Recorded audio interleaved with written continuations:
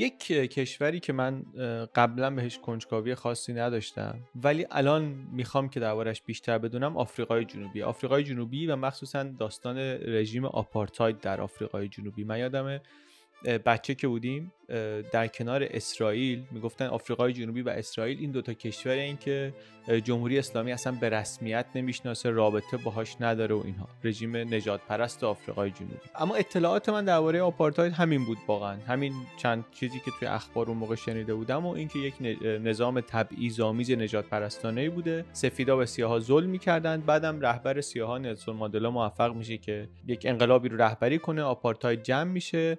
با مبارزه خشونت پرهیز و بعدم ایشون میشه رئیس جمهور و همه چی خوب میشه. مثل هر مسئله دیگه ای اینم اینطوریه که خب هرچی بیشتر براش وقت بذاری بیشتر سر در میاری پیچیدگیاشو بیشتر متوجه میشی جزئیاتشو می‌فهمی و شاید یک سری از اشتباهاتی رو که در فهمیدنش داشتی بتونی اصلاح بکنی. من وقت خیلی زیادی نذاشتم. الان مثلا دو سه هفته است که شروع کردم درباره این یه خورده کار کردن. بین کارهای دیگه حاصل چند شب کنجکاوی من درباره موضوع آفریقای جنوبی و آپارتاید شده این ویدیو. می‌دونم هم که مثل همیشه جزئیات خیلی بیشتر از اینه که ما اینجا داریم میگیم و منم ناواردم. منم آدم متخصص نیستم. مطالعه هم که کردم مطالعه سیستماتیک و آکادمیکی نبوده. تا دو هفته سه هفته پیش هیچی ازش نمی‌دونستم تقریبا. ولی سعی می‌کنم در نقل کردن حرف از منابعم دقیق باشم و منابع حرفا رو هم اون پایین در توضیحات نوشتم که شما برید ببینید و بیشتر و کاملش رو اگر که خواستید هم متن هست هم پادکست هست هم مستند و اینا هست. اینجا من اون چیزایی رو میگم که خودم فهمیدم درباره اینکه آپارتاید چی بود کلا و چرا توی آفریقای جنوبی آپارتاید پیاده شد چطوری پیاده شد از کی تا کی بود و اینجور چیزا. دو تا ویدیو هم داریم می‌سازیم. یه دونه داستان آپارتاید و شروعش و زمینه تاریخیش و اینا یه دونه بعدا داستان برافتادنش.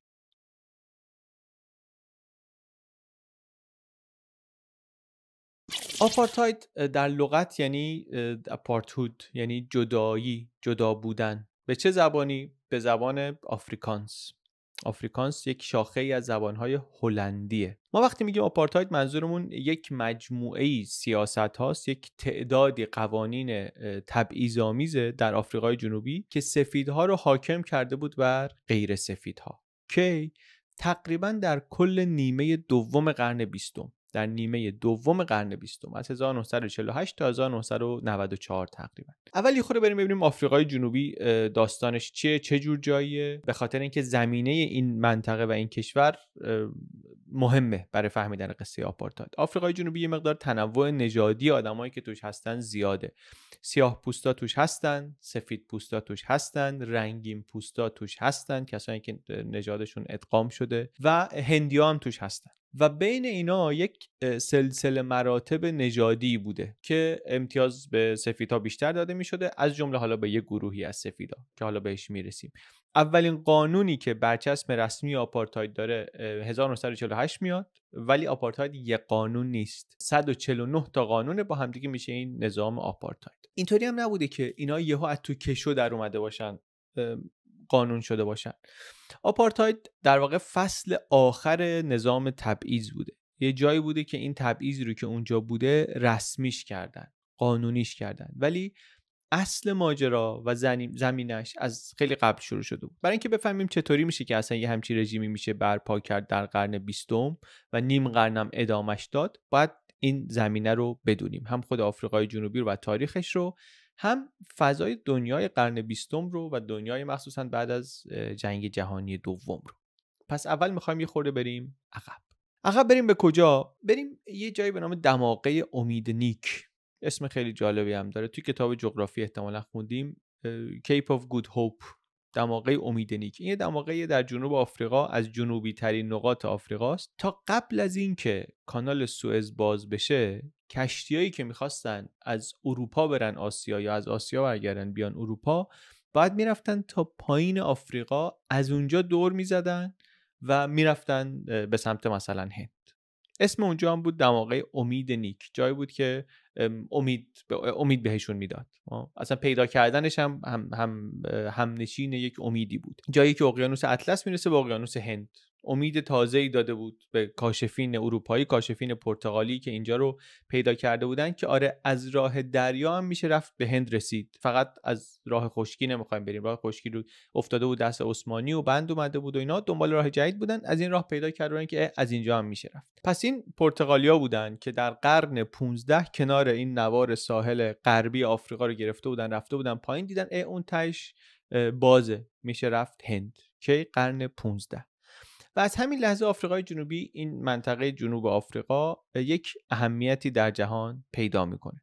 اون منطقه البته خب خالی نیست ساکنینی داره قبایلی اونجا هستن تمدنایی هستن پادشاهیایی دارن ولی خب پرتغالی هم خلاصه میرن اونجا رو پیدا می‌کنن و ولی شروع داستان ما اون موقع نیست. اون موقع فقط کشف میشه اینجا. دیویست سال بعد از اونه که یک سری اروپایی شروع می‌کنن اونجا رفتن.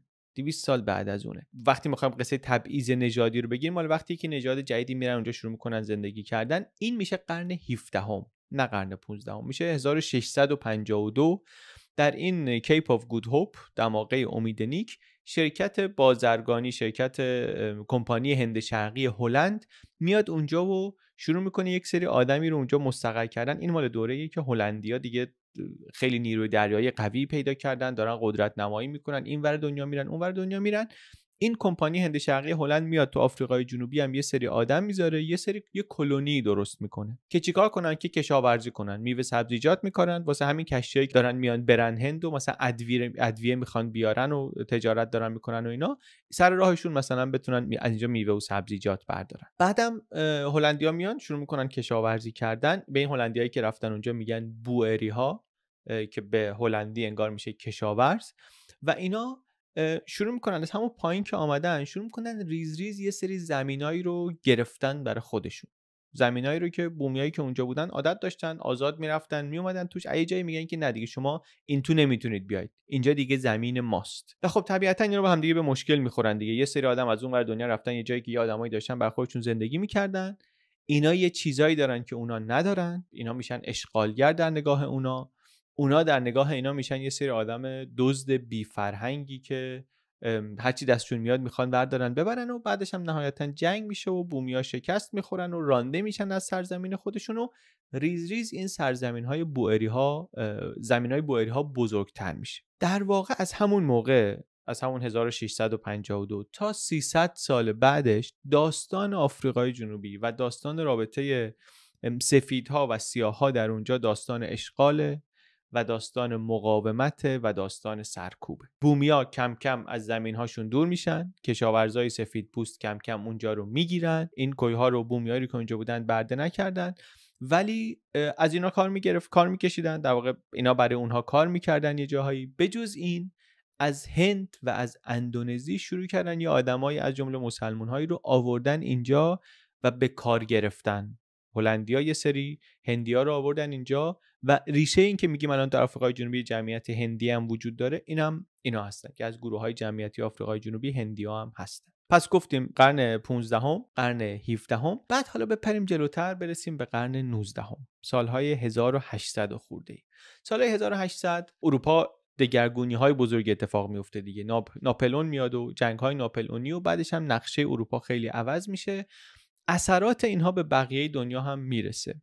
از جمله اینکه بدون اینکه جزئیاتشو بخوایم بگیم این مستعمرات در جنوب آفریقا اینا همه میفته دست بریتانیا. همچنان اینجا چرا مهمه؟ به خاطر موقعیت استراتژیکش به خاطر تجارت دریایی. هنوز خبری از کانال سوئز نیست. کشتیرانی تجاری بین اروپا و آسیا راهش همچنان از همین پایین آفریقاست.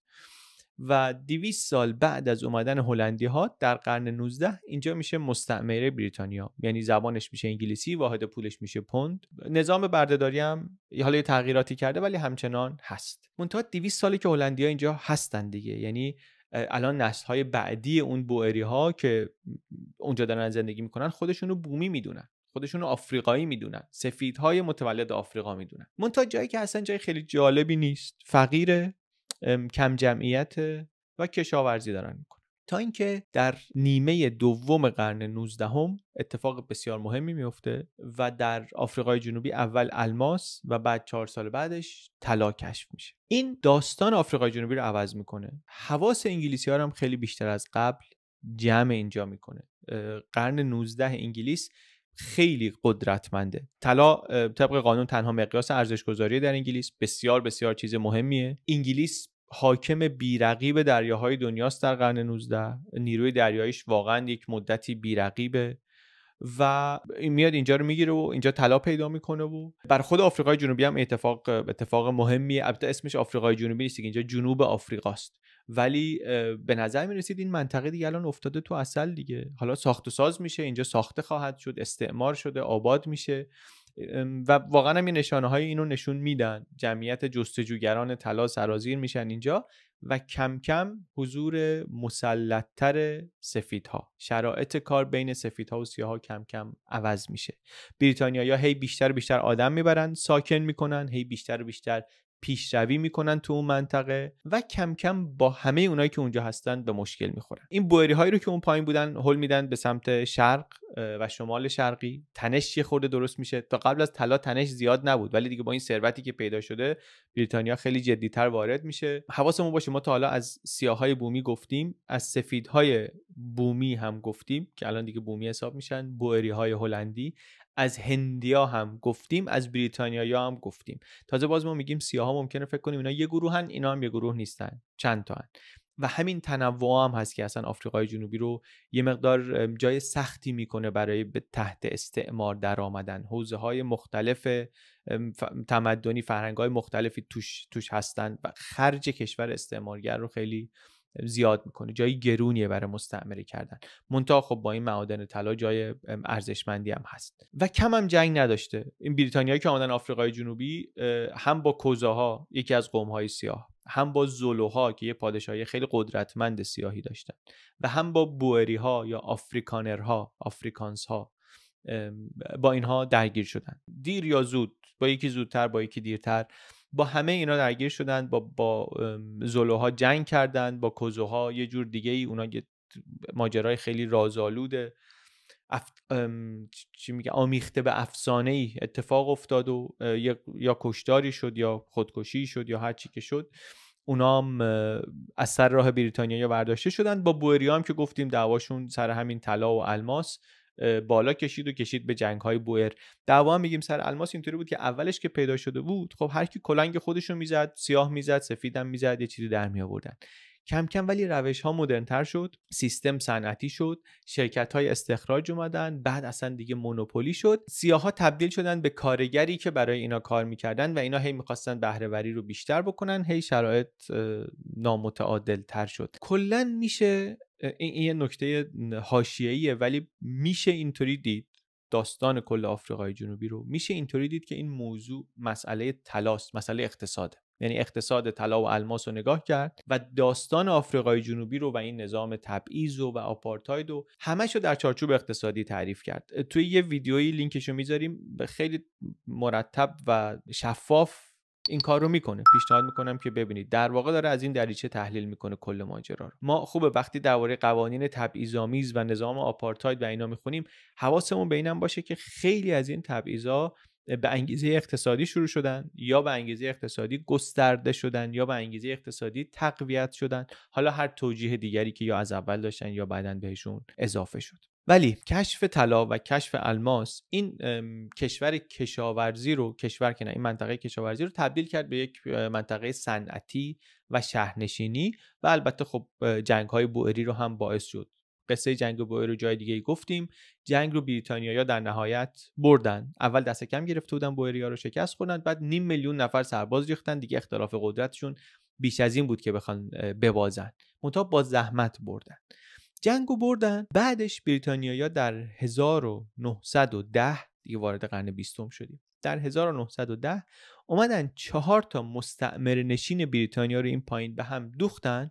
گفتن اینو می‌کنیم یک دولت ملت جدید به نام اتحادیه آفریقای جنوبی The Union of South Africa. یک کشور خودگردان ولی تحت حاکمیت بریتانیا. آفریقای جنوبی قبل از اینکه بشه جمهوری آفریقای جنوبی کشورش این بود. از 1910 تا 1948 تقریبا میشه گفت نیمه اول قرن بیستم این بود کشورش. چرا این حالو دادن به اینا؟ چرا چرا این کارو کردن؟ ممکنه یه دلیلش این باشه اینطوری که میگن که می‌خواستن دلجویی کنن از آفریکانرها از بوئری به خاطر جنگ بوئر به خاطر اینکه در جنگ بوئر اینا توی ویدیو هم گفتیم جنایت های جنگی کرده بودن بریتانیا یا اردوگاه های کار اجباری بلاهایی که سر زنها و کودکان آورده بودن و بعد دولت هم عوض شده بود در بریتانیا لیبرال ها اومده بودن سر کار کلا هم اینا از اول موافق جنگ بوئر هم انگار نبودن. حالا می‌خواستن اونطوری که می‌گفتن یه کاری بکنن که اونایی که ازشون متنفر بودن اونجا عاشقشون بشن و کشور بهشون دادن.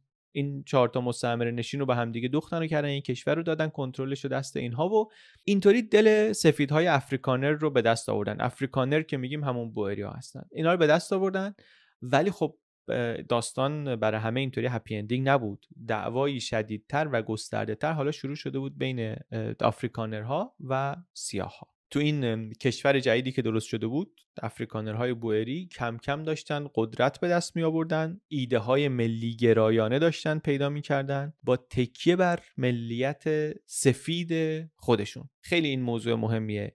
ریشه ملی گرایانه افکار آفریکانرها رو که اینا بعد اینا کسایی که بعدا آپارتاید رو طراحی می‌کنن و اعمال می‌کنن. ریشه ملی گرایانه افکار اینا رو اینجا خوبه که بدونیم وگرنه ممکنه نفهمیم چرا. یعنی یه همچی سیستم تبعیضی که اینا پیاده می‌کنن در نیمه دوم قرن بیستم این بالاخره یه طوری باید توجیه بشه دیگه. از یه جایی باید تغذیه مفهومی بشه یه ایدئولوژی می‌خواد. اینجای ماجرا این ایدئولوژی ملی گرایانه آفریکانرها بود که شروع کرد شکل دادن به نمی‌دونم راستش فارسی درستش چیه آفریکانر نشنالیزم انگلیسیش. کلا هم همین چه هلندی دیگه. این آفریکان آفریکانر که میگیم آفریکانس یک شاخه ای از زبانهای هلندیه. اینا هم از نسل همون هلندیایی هستن که دیگه الان چند قرنی میشه که آمدن اونجا و هویت خودشونو دارن. اروپایی هستن که اینجایی هستن. خودشون رو شاید به خاطر این شاید هم به دلایل دیگه اینو اصلا نمی‌دونم. ولی خودشون رو انگار قوم برگزیده الهی می‌بینن اینا. هویتشون اینه که ما سفیدهایی هستیم متولد آفریقا که حالا از سرزمینمون در جنوب که سرزمین ما بوده به دست مستعمره کننده های بریتانیایی رانده شدیم به سمت شمال و شمال شرق. الان چرخ چرخیده ما داریم هویت خودمون رو پیدا می‌کنیم. تو این دوره شروع می‌کنن این زبان آفریکانس رو اضافه می‌کنن می‌کنن یک زبان رسمی در کنار زبان انگلیسی. پرچم جدید سرود ملی به زبان آفریکانس. و کم کم یه مزایایی برای خداشون درست می‌کنن. حالا که به قدرت رسیدن. قدرت کامل دستشون نیست ولی تو قدرت هستن. با تکه بر همین هویت مشترکی که دارن تقویتش می‌کنن یه بنای یادبود عظیم درست می‌کنن برای اون کوچ اجباریشون برای اون هجرتشون. یک مراسم مفصلی می‌گیرن اون افتتاحش می‌کنن این خیلی کمک می‌کنه به تقویت حس مشترک ملی گرایی توشون. اینکه ما افریکانرها یک ملت شاخصی هستیم با زبان و فرهنگ و تاریخ یکه ما باید از خودمون دفاع کنیم باید بریم بالا. ایدهشون اینه که ما از بقیه بهتریم. اینو تو, تو مدرسه به بچه ها یاد میدن. حتی کلیسای کاتولیک رو یا کلیسای انگلیسی رو به قول خودشون خیلی قبول ندارن بیشتر تشویق می‌کنن مردم رو به کلیسای هلندی. بانکای خودشون رو می‌زنن. میگن بریم تو بانکای خودمون پول بذاریم از بانکای خودمون سرویس بگیریم که بتونن به خداشون سرویس بهتر بدن امکانات بهتر بدن. چون شما تبعیض که می‌خوای بذاری باید یه طوری اعمالش کنی دیگه یه نهادهایی می‌خواد. این نهادها رو تو این دوره گذاشتن. همین نهادها هم هستن که بعدا میشن ستون فقرات اجرای آپارتاید. آپارتاید خودش هنوز شروع نشده. آپارتاید از وسط قرن بیستم شروع میشه اما همه اینا داره بنای جامعه رو و سیستمی رو می‌سازه که توش میشه همچون تبعیضی رو برای نیم قرن اعمال کرد. اصل اساسی اینجا چیه؟ این که آفریکانرها بر سفیدهای بریتانیایی برتری دارن همه سفیدها بر رنگین پوستا و همه اینا با هم دیگه بر سیاها. سیستمش هم بود که سیاها رو از سفیدها جدا می‌کرد. چطوری این برتری نشون داده میشه؟ تا اون موقع مثلا حداقل در یه جاهایی مثل کیپ هر کسی یا درسترش در واقع که بگیم هر مردی که درآمدش از یه حدی بیشتر بود می‌تونست رأی بده. حالا سیاهای زیادی نبودن که این شرط رو پاس می‌کردن این, این انقدر درآمد داشتن ولی به هر حال بعضیا می‌تونستن رأی بدن. الان گفتن نه اصلا سیاها کم کم دیگه هیچ راهی به قدرت سیاسی نداشته باشن. نظارت پلیسی هم روشون بیشتر بشه. با قانون. همه اینا با قانون یعنی قانون رو عوض می‌کردن. برای سفید پوست حق رأی قائل می‌شدن و کم کم کنترل و تسلط کامل سیاسی بر نژادهای دیگه میافتاد دست سفیدها.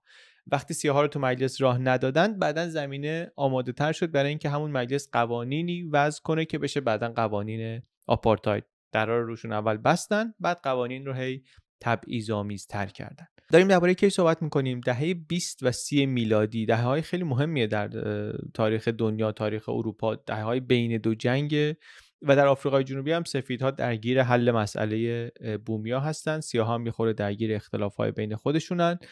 کلا زمین بازی اقتصادی و اجتماعی و سیاسی اینا براشون جدا شده. جمعیت سیاها داره زیاد میشه منطقه داره صنعتی تر میشه و هی تلاش می‌کنن سفیدها که این جداسازی رو سفترش کنن محکمترش کنن قانونی ترش بکنن. یه کاری می‌کنن دیگه سیاها نتونن خارج از منطقه که براشون مشخص شده زمینی بخرن.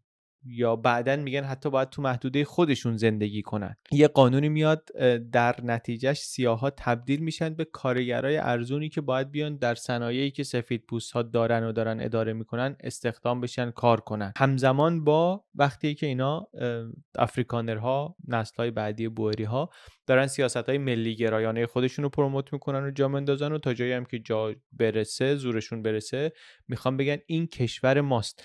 حتی انقدری که اگه بتونن می‌خوان از زیر دست بریتانیا کلا در بیارن قصه رو اینجا رو جمهوریش کنن. اینم یه چیزی بود که بر من تازه بود که مسئله آفریقای جنوبی فقط مسئله سفید و سیاه نبود. سفید و سفید هم بود. ولی خب برای سیاهایی که از قدرت خیلی دورتر بودن فشارم خیلی بیشتر بود. یه جایی اومده بودن گفته بودن که سیاها می‌تونن نماینده داشته باشن تو مجلس ولی اون نماینده نمی‌تونه سیاه باشه. یعنی مجلس همه سفیدن. سه تا از این سفیدا رو میگیم نماینده سیاه هستن. سیاه می‌تونن رای بدن بهشون ولی مثلا نماینده هاشون سفیدن. خیلی وضع عجیبی بود. و, و حواسمون باشه در نیمه اول قرن بیستم هستیم هنوز. وضع اقتصادی در آفریقای جنوبی خوب نیست. یعنی برای سفیدا هم خیلی خوب نیست. منتها سیاه ها به جز این حالا محدودیت های دیگه هم دارن و کم کم محدودیت ها زیادتر هم داره میشه. ما وقتی درباره تاریخ قرن بیستم یک کشور یک منطقه صحبت می‌کنیم حواسمون باید به تاریخ دنیا هم باشه. همیشه باید باشه. ولی من وقتی تاریخ قرن بیستم نگاه می‌کنم برای کشوری رو یه شابلونی دارم میندازم روش. سعی می‌کنم تو سه تا بازه مهم حداقل سه چهار تا بازه مهم ببینم که در این کشور چه خبر بوده. جنگ جهانی اول بین دو جنگ جنگ جهانی دوم و بعدا حالا جنگ سرد. اینطوری چون می‌دونیم فضای دنیا تو هر کدومش چیه تا یه حدی می‌تونیم ببینیم که چقدر اتفاقی که تو کشور داشته میفته متاثر از فضای دنیا بوده. این اتفاقا رو یه تصویر کلی ازش داریم. بعد نگاه می‌کنیم ببینیم که حالا توی این کشور جنگ جهانی اول چه اثراتی داشته چطوری نمایان شده و اینا چه مشارکتی توش داشتن. آفریقای جنوبی مثلا در جنگ جهانی اول آمد و کنار بریتانیا جنگید. جنگ جهانی اول وقتی که قدرت بریتانیا هنوز خیلی زیاده. اینا هم اومدن جنگیدن. و حواسمون باشه دارن در کنار دشمن سابقشون میجنگن. بعضی از بوئری های سابق خیلی سختشونه. مخالفن میگن ما اصلا ضد انگلیسی بودیم همیشه. ولی میان بالاخره تو این جنگ و حتی جنرالایی که چند وقت پیش در مقابل ارتش بریتانیا جنگیده بودن میان در جنگ بوئر علیه ارتش بریتانیا جنگیده بودن. حالا در جنگ جهانی اول میان کنار بریتانیا یا میجنگن در مقابل آلمان. دو تا از مستعمرات آلمان در آفریقا رو اینا میرن و از دست آلمانا در میارن در خاورمیانه میرن با عثمانی میجنگن و بعدم طلایی که بالاخره از اینجا میاد تامین کننده بخشی از بودجه جنگ با آلمان دیگه. آلمانی که اونم بیطرفدار نیست در آفریقای جنوبی مخصوصا بین همین آفریکانرها بین همین بوئری ها مقام های نظامی بلندپایه‌ای هم هستن در آفریقای جنوبی که طرفدار آلمان هستن. حالا بعدا پرونده جاسوسیشون در میاد. آلمان در جنگ بوئر از اینا حمایت کرده بود سلاح فروخته بود بهشون ولی به هر حال در زمان جنگ جهانی اول دست بالا رو انگلیسی ها و نیروهای نزدیک انگلیس دارن و آفریقای جنوبی میره کنار اینا میجنگ جنگ جهانی اول تموم میشه اینا هم سمت پیروز جنگن. بین دو جنگ اتفاق خیلی مهمی میفته اینجا در دهه سی. آفریقای جنوبی رسما کشور مستقلی میشه و از بریتانیا جدا میشه. کشوری که سیاستش در قبضه سفیداست هرچند جمعیت بزرگیش اکثر جمعیتش سیاه پوست هستن. بعد قیمت طلا میره بالا اینا وضعشون خوب میشه. مردم بیشتر میان به سمت شهرها. شکل اقتصاد دیگه کم کم عوض شده اقتصاد متنوع شده. سفیدا هی وضعشون بهتر میشه بقیه همچنان تو وضع بعد موندن. بقیه سیاها هندیا رنگین پوستا اینا یه کسایی توی سیستم سیاسی هستن که خواسته اینا رو نمایندگی می‌کنن. ولی بیشتر فازشون مسالمت جویانه است و اعتراضمون رو به دولت اعلام کردیم و حالا در چارچوب قانون اساسی ببینیم چه اصلاحی میشه انجام داد و بیشتر فازشون اینه حمایت زیادی هم نمیشه. بپریم از روی یه سالهایی برسیم به جنگ جهانی دوم. جنگ جهانی دوم شد آفریقای جنوبی باز دوباره یک کشمکش داخلی داشت بین قدرتمندان حاکمش که این ور بریم اون ور بریم. در نهایت دوباره رفت کنار بریتانیا و متفقین و مشارکتش در جنگ زیادم بود. اقتصادش هم جهش خیلی خوبی کرد. دوباره حواسمون باشه آفریکانرها همون بوئری های سابق که 40 سال پیش با انگلیسی ها جنگیده بودن دوباره دارن میرن دوشادوش انگلیسی ها با دشمن اروپایی انگلیسی ها یعنی آلمان میجنگن. همشون نه یه گروه مقاومتی طرفدار هیتلر هم در آفریقای جنوبی هست که اتفاقا بعد از جنگ اعضاش به مراتب بالای قدرت هم می‌رسن. هرچند میگم ما طرفدار آلمان نیستیم و ضد انگلیسی هستیم و اینها ولی کشور آفریقای جنوبی میره به سمت متفقین و در کنار اینها میجنگه. ما حالا وارد دعواهای اینا نمی‌خوایم بشیم هرچند دعواهای به نظرم مهمی هم هست. ولی ما نمی‌خوایم توی اونا بریم. بوئری های افراطی طرفدار نازی رو نمی‌خوایم دربارشون زیاد صحبت کنیم. هرچند می‌دونیم که وجود داشتن. درباره کلیت صحبت می‌کنیم که, کلیت دولت و کشور آفریقای جنوبی در کنار متفقین جنگید. همه اینایی که ما گفتیم هنوز وارد دوره آپارتاید نشدیم. آپارتاید بعد از اینه که شروع میشه رسمی. اینا همه مقدمه و زمینش هستن. بعد از جنگ جهانی دوم رشد اقتصادی میاد. کارگر سفید پوست کفاف کارها رو نمیده. نیاز به کارگر سیاه پوست بیشتر میشه در صنعت در آفریقای جنوبی و یه نتیجهش این میشه که سیاه پا بیشتر میان به سمت شهرها. جمعیتشون در شهرها هم از سفیدها بیشتر میشه اکثریت میشن. میان اینجا حق و حقوقشون رو می‌خوان بیرون از شهر میرن حاشیه نشین میشن قوانین دست و پاشون رو بسته حق رأی ندارن قدرت سیاسی ندارن. کم کم اینا شروع می‌کنن به اعتراض کردن و همون موقع یه مقاومت یه قدرت نشون دادن. یه بایکوت یه اعتصاب کارگری سندیکای کارگری که البته اثر چندانی نداره. منتها باید اینجا اینجا می‌گفتیم چون بعدا که می‌خوایم نیروهای موثر در مقاومت ضد آپارتاید رو بشناسیم خوبه که بدونیم اینا از همون موقع بودن از همون سالهای اول بعد از جنگ. بعد از جنگ جهانی دوم. از همون سالا شما کم کم اسم یه گروه ها و حزبای سیاسی رو میشنوی یا می‌خونی؟ از جمله کنگره ملی آفریقا ANC که اسمش رو چرا ما می‌شناسیم؟ چون یکی از مهمترین رهبران سیاسی قرن بیستم نلسون ماندلا از اینجا آمده بود. سال 1948 پس. آغاز رسمی دوره آپارتاید اینجاست. قبلا هم گفتیم از اینکه حالا سیاه‌پوستا حق رأی نداشتن و حکمرانی دست اقلیت سفید بود و اینها بعد از جنگ انتخابات شد حزب ملی انتخابات رو برد. حزب ملی اون حزب نشنالیستای افریکن بود. اینا انتخابات رو بردن و مصمم بودن که یه کاری کنن در راستای اون ایدئولوژی ملی افریکانر خودشون و مشکل سیاها رو برای همیشه در آفریقای جنوبی حل کنن. یعنی مشکل خودشون رو با سیاها حل کنن. با ایده های نجات پرستانه از وقتی اینا آمدن دیگه حالا بدون بریتانیا بدون دردسر فشار هیچ نیروی دیگری با تکیه بر اون ایدئولوژی ملی گرایانه خودشون شروع کردن قوانین آپارتاید رو یکی یکی تصویب کردن. غیر سفیدها اصلا بدون مجوز دیگه حق تردد تو این مناطق ندارن. اگه بیان تو مناطقی که مخصوص سفیدها هست جریمه میشن. یک گذر گذرنامه ای مثلا یه پاسپورتی مجوز عبوری باید همیشه تو جیبشون باشه. تو کشور خودشونا ازدواج بین نژادی غیر قانونیه مجازات داره. حق مالکیت سیاپوستا حتی گرفتاری داره. سیاست های مالیاتیشون مثلا نامعلومه گنگه. کلا اینها رو به خاطر نژادشون به عنوان شهروندی می‌دیدن که حق و حقوقی برابر با بقیه نداره. به پشتیبانی کلیسای هلندی بر اساس تفکرات ایدئولوگایی که می‌گفتن که اینجا ما اصلا سرزمین کسی دیگه رو نگرفتیم که. یعنی اینا این هم باز مهمه. اینا یک سابقه داستان تاریخی براش درست می‌کردن. می‌گفتن سفیدهایی که آمدن اینجا اجداد ما زمینی رو که مال کسی نبوده آباد کردن. مستعمره کردن. کسی رو نکشتن خاکشو به توبره بکشن. اتفاقا خیلی هم به سیاهایی که برای کار برای غذا می اومدن پیششون کمک کردن. اینجا رو ما آباد کردیم. مال ماست. اون کوه و دشت و دره خالی رو تبدیل کردیم به این جامعه مدرن صنعتی. مال سفیدها بوده. سفیدها ساختنش. باید یک نظامی یه سیستمی برپا کنیم که مال سفیدها بمونه. این سیاها از چنگمون درش نیارن. اینا رو در سخنرانی های ایشون که بعدا نخست وزیر رژیم آپارتاید شد میشه دید میشه شنید. و البته ادعاهاش در جا باید بگیم ادعاهایی که با داده های تاریخی و باستانشناسی رد میشه ها. ولی خب بالاخره حرفی بود که می‌زدن. یه مرور بکنیم ببینیم چی گفتیم. گفتیم آفریقای جنوبی تنوع نژادیش بالاست از جمله به خاطر سابقه استعمارش به دست هلندی ها و بعد بریتانیایا الماس و طلا توش پیدا شد سیستم تبعیض‌آمیزی که از قبل بود گسترده تر و عمیق تر شد در نیمه اول قرن بیستم و بعد بعد از جنگ جهانی دوم یعنی وسط قرن بیستم یک دولت ملی آمد سر کار. نظام نجات پرستانه تبعیضی رو در قالب یک مجموعه ای از قوانین به نام آپارتاید شروع کرد به پیاده کردن. تبعیض‌آمیز علیه یه گروهی که اینا هم شهروند همین کشور بودن. یعنی حداقل به اندازه اون سفیدهایی که اونجا بودن حق داشتن اینا حداقل.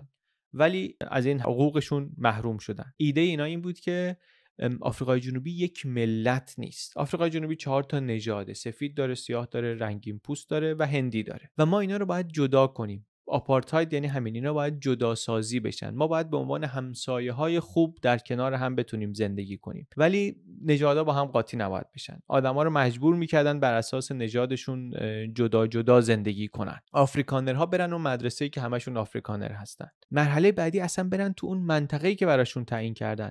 سیاها رو بفرستن یه منطقه ای ما میگیم اینا منطقه ای که اجداد اینا قبایلشون از همینجا اومده بفرستیمشون همونجا. جایی که کار نیست شرایط زندگیش بده و اینطوری حالا فایده ای که داشت براشون یه فایده جدا از این ایده های ایدئولوژی ملی گرایانه و این قصه های تاریخی که گفتیم فایده ای که داشت بود که نیروی کار ارزون تأمین می‌شد برای معادن طلا دیگه. یعنی توجیه اقتصادی داشت. این مدرسه جدا اینا مدرسه نرن زود بتونن بیان وارد بازار کار بشن. این سیستم استثماری توجیه اقتصادی هم داشت. نمود اجتماعیش هم این بود که آره ساحل مال سفیداست. این بیمارستان مال سفیداست. تو این اتوبوس سیاها حق ندارن سوارشن مدرسه جدا دانشگاه جدا. تو جاهای عمومی تابلو بود که دوش نوشته بود مخصوص سفید پوستا. دنیا هم اگر اعتراضی می‌کرد می‌گفتن ما کار عجیبی نمی‌کنیم که همون کاری که انگلیسی ها تو هند کردن.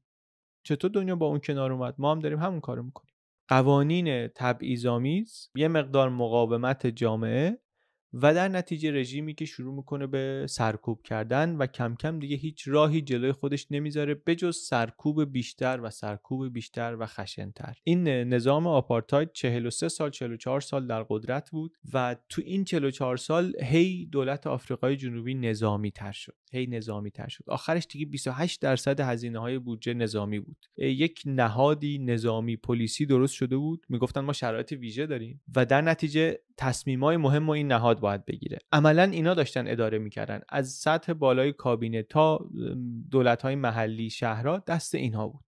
و حواسمون باشه تو جنگ سردم هستیم دیگه. خیلی از جاهای دنیا در جنگ سرد جنگ سردی ندارن. جنگشون خیلی هم داغه. صحنه نبردهای نیابتی جنگای نیابتی و رقابت و نبرد بین آمریکا و شورویه. یا هست یا میشه. دولت آفریقای جنوبی هم تو اون کانتکست هم خودشو می‌دید. میگفتش که حزب کمونیست رو غیرقانونی کرده بود. می‌گفت اینایی که مخالف ما همه کمونیست هستن. و روس ها هم البته در آفریقا بودن. بیخ گوش آفریقای جنوبی فعالیت داشتن. ایده هاشون و ایده های کمونیستا برای کنگره ملی آفریقا ANC الهام بخش بود. اثر گذاشته بود روشون. مثل خیلی حکومت های دیگه کمونیسم برای حکومت آپارتاید هم یک اسم رمزی شده بود. برای اینکه مخالفینش رو مخالفین آپارتاید رو باهاش خفه بکنه و سرکوب بکنه. حالا ما یه ویدیو دیگه داریم گفتم اون درباره مقاومت ها در برابر آپارتاید درباره مبارزه هاست اونجا خود درباره نیروهای ضد آپارتاید و شرایط دنیا میگیم. داستان ماندلا رو هم یه خورده اونجا میگیم. کلا ولی تو ذهن داشته باشیم آپارتاید 43 سال طول کشید. ماندلا توش دستگیر میشه مبارزه می‌کنه دستگیر میشه. سال 15 همش این داستان جنگ سرد به نظرم مهمه بهش فکر کردن وقتی که داریم درباره آفریقای جنوبی صحبت می‌کنیم. در کشور آفریقا در کشور آمریکای جنوبی یک سری انقلابهای کمونیستی اتفاق افتاده. آفریقای جنوبی منطقه استراتژیکی محسوب میشه رشد اقتصادیش بالا هست. در مرزش هم با نابیمیای امروز که اون موقع توی آفریقای جنوبی بود با آنگولا درگیریایی داره که توش نیروهای دست بالا نیروهای تحت حمایت شوروی هستند. یعنی در جنگ سرد این رژیم آپارتاید آفریقای جنوبی متحد غربه و این کمکش می‌کنه که زیر اون چتر زیر چتر مبارزه با کمونیسم کارهای فعالیت های نظامی خودش رو و رژیم سرکوب خودش رو هم پیش ببره. اسرائیل گزارش هایی هست که خیلی اتحاد نزدیکی داشت با حکومت. گزارش هایی هست که در فعالیت های همکاری می‌کرد. با آفریقای جنوبی هم، همکاری خیلی نزدیک می‌کرد. سلاح ای می‌خواست بهش بفروشه. و توی این فضاست و توی این دنیاست که میگیم آفریقای جنوبی یک کشور کاملا نظامی شد. ارزش های نظامی میهن پرستی نظم وفاداری اینا شدن چیزهای مهم. دوره سربازی که نه ماه بود شد 24 ماه. تو مدارس تعلیمات پادگانی می‌دادن. جوانان آماده بشین. بودجه دفاعی گفت تو دهه آخر خیلی رشد کرد. قبل از اون تو دهه 60 البته رشد اقتصادی خیلی خوبی داشت آفریقای جنوبی. همون دوره‌ای که تحریم هایی هم شروع کرده بودن علیهشون گذاشتن افکار عمومی جهان هم علیهشون شده بود ولی موقعیت دولت قوی بود محکم بود. می‌گفت ما با این ثبات و وضع اقتصادی خوبی که داریم ما میشیم اصلا نهایتا اون کشوری که آفریقا رو نجات میده. ما ببینید تو این 50 سال گذشته از کجا به کجا رسیدیم. راست هم می‌گفتن. حداقل سفیدا وقتی نگاه می‌کردن به گذشته می‌گفتن ما یه کشور فقیر کم امکاناتی بودیم رسیدیم به جایی که نمی‌تونیم راضی نباشیم. دهه 60 واقعا همه چی خوب بود براشون. عالی بود. مخالفین سرکوب شده اقتصاد خوب سفیدا خوشبخت و مرفه. در کشوری که از یه طرف خب نظام آپارتایدی هست از یه طرف مقاومت هست و مقاومت سرکوب شده هست و یه سر و صداهای هر از گاهی در میاد. این سر صداها تو دهه هفتاد بالا می‌گیره. تبدیل میشه به مقاومت واضحتر خرابکاری هایی که حالا ما توی ویدیوی دوم دربارش صحبت می‌کنیم. یه رقمش تو سال 76 چند صد تا کشته داره و کم کم دیگه شرایط شرایط آرام و باثباتی نیست. اصلا نگرانی میشه که آفریقای جنوبی بیفته در جنگ داخلی. و بعد حالا یک رئیس جمهوری به قدرت می‌رسه از حزب ملی از همین حزب آفریکانرها که خودش هم تو سیستم آپارتاید بوده خودش هم وزیر بوده دفاع می‌کرده اجرا می‌کرده. ولی وقتی رئیس جمهور میشه اواخر دهه 80 سیاست هایی رو شروع می‌کنه اجرا کردن که عملا آپارتاید رو تموم می‌کنه. آدم بحث برانگیزی هم هست. ایشون نوبل صلح گرفت به خاطر این کارش. از اونور مبارزی ناراضی بودن ازش که مثلا معذرت خواهی که کرده به خاطر اقدامات زبان آپارتاید کامل نیست کافی نیست. بگذریم از این جزئیات مهم. منظور این که یک نفر از همون سیستم سرکوبگر آپارتاید وقتی به قدرت می‌رسه دیگه متوجه میشه اون سرکوب و اینها کار نمی‌کنه. شرایط جهانی هم البته عوض شده. این خیلی مهمه. خود کشور نظر اقتصادی وضعش دیگه خوب نیست. رشد اقتصادیش در دهه 80 کند شده بود. از جمله به خاطر هزینه های این آپارتاید یعنی نظام تبعیض داشت خرج واقعی دیگه میذاشت رو دستشون بجز اون هزینه های غیر مالی یکی از دلایلش همین هزینه سرمایه زیادی بود که صرف می‌کردن برای اینکه سیاها رو جدا کنن. یعنی آپارتاید داشت همین الان هزینه زیاد رو دولت میذاشت بجز اون هزینه غیر مادی که میگه اینکه سرزمین های مستقل و اینا درست کنن موفق از آب در نیومده بود. سرزمین های سیاها خیلی فقیر بود. نیروی کار سیاها بر اقتصاد کشور مهم بود. اتحادیه های کارگری سیاها قدرت گرفته بودند وقتی شما این همه کارگر داری و مهمه بالاخره قدرت می‌گیرن. مشکل یه طوری شده بود جامعه طوری شده بود که معلوم بود دیگه نمیشه ادامه داد دیگه. بیش از 70 درصد جمعیت سیاه‌پوستا قدرت خریدشون انقدر بود نمی‌تونستن به شکل معنیداری در اقتصاد کشور مشارکت کنن. دولت هم شاید ترس بزرگترش این بود که اینا همه برن حالا کمونیست بشه بعد تو این وضعیت قیمت طلا هم افت می‌کنه تورم هم هست. وضع دنیا هم داریم میگیم سال اواخر دهه 80 دیگه دیگه گفتن نداره. پایان جنگ سرده. دیوار برلین داره میاد پایین. یعنی دنیا داره عوض میشه. و شرایط طوریه که دیگه شاید در دنیای جدید اون حامیان قبلی هم که در برابر تحریم شدن رژیم آپارتاید مقاومت می‌کردن یا داشتن می‌رفتن یا داشت زورشون کم می‌شد. این آقایی که گفتم رئیس جمهور شد این قبل از اینکه رئیس جمهور بشه رفته بود لندن. مارگارت تاچر اونجا تشویقش کرد که شما شروع کن با ماندلا مذاکره کردن. حتی جورج بوش جورج بوش پدر حاضر نشد ببینتش. اینا آدمایی بودن که تا همین چند وقت پیشش کاملا حمایت می‌کردن از آفریقای جنوبی از رژیم آپارتاید مخالفت می‌کردن با تحریما. ولی دیگه دیده بودن که جواب نمیده. خود این آدمم از سیستم آپارتاید اومده بود بیرون. حتی وقتی انتخاب شده بود یکی از رهبران مخالفین میگفتش که ما چی میگید وارد دوران جدیدی شدیم؟ هیچ دلیلی نیست که ما حتی بخوایم تصور کنیم که داریم وارد دوران جدیدی میشیم. ولی شدن. با همون آدمی که از سیستم قبلی اومده بود بیرون شدن. میگم دنیا هم عوض شده بود البته. شرایط اقتصادیشون هم عوض شده بود. همون اوایل کارش هم ایشون خیلی سریع اجازه تظاهراتی رو به مخالفین داد. گفت درها برای یک آفریقای جنوبی جدید بازه و این شد که یک تظاهرات سی هزار نفره شکل گرفت و بعدم شهرهای دیگه و نشون داد که دنبال سرکوب تظاهرات نمیره که بخواد به خشونت بکشه و این خودش یک تغییر مهم بود نسبت به دوره قبلی. در این شرایط این آقای کلرک FWD کلرک برنامه آپارتاید رو داره جمع می‌کنه داره تغییرات اساسی میده توی سیستم و شروع داره می‌کنه با ماندلایی که هنوز در زندانه مذاکره کردن. حالا داستان این رو که ماندلا چیه تو زندانه؟ چند وقت تو زندانه؟ یعنی چی مذاکره کنه؟ اصلا این مبارزه علیه آپارتاید چه دست, و پاش چیه؟ از کجا شروع شده؟ ماندلا توش چی کار است و اینا؟ این رو می‌گذاریم برای اون ویدیوی دیگه. این یک نگاه خیلی خلاصه و سطحی بود به اینکه آپارتاید چیه آفریقای جنوبی چه شرایطی داشته آپارتاید توش پیاده شده آپارتاید کی شروع شده 1948 و کی تمام شده 1994 که انتخابات برگزار میشه و همین ماندلایی که زندان بود بعد از 27 سال اومده بود بیرون و حالا مذاکراتی و فرایندی که حالا اونم در ویدیوی بعدی میگیم نهایتا تبدیل میشه به رئیس جمهور و اون قوانین تا حد زیادی برداشته میشه. هرچند مسئله تبعیض نژادی در آفریقای جنوبی حل نمیشه. اینم حالا باید موضوعی که جای دیگه باید بهش بپردازیم. من علی بندری این کانال یوتیوب بی پلاس.